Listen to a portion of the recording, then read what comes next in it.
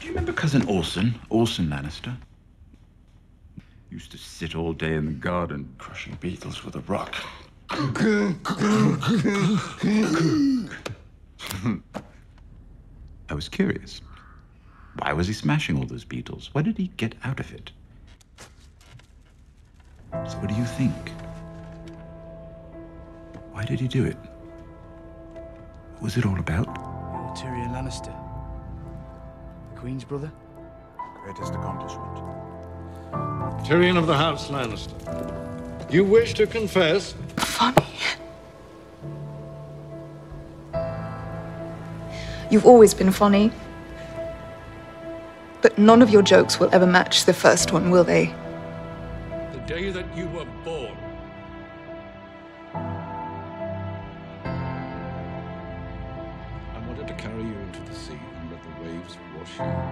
I?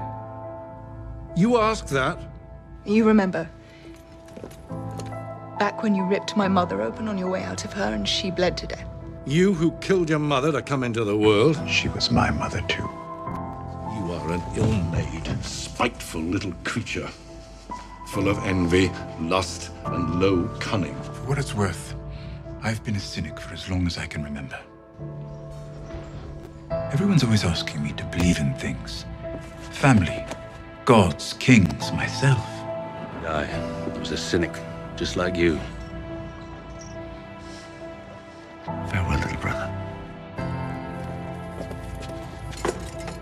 I believe in you, mother. I wish to confess. I wish to confess. You wish to confess? I saved you. I saved this city. All your worthless lives.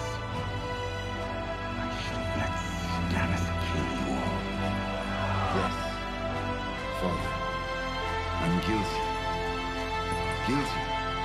Is that what you want to hear? To admit you poisoned the king.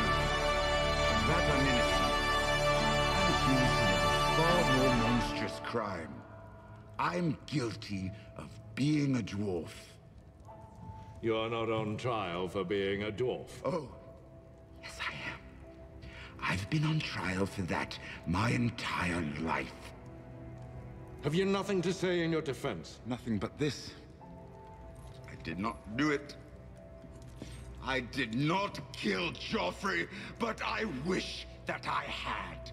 Watching your vicious bastard die gave me more relief than a thousand lying whores. I wish I was the monster you think I am. I wish I had enough poison for the whole pack of you. I would gladly give my life to watch you all swallow it. Why did he do it? I don't know.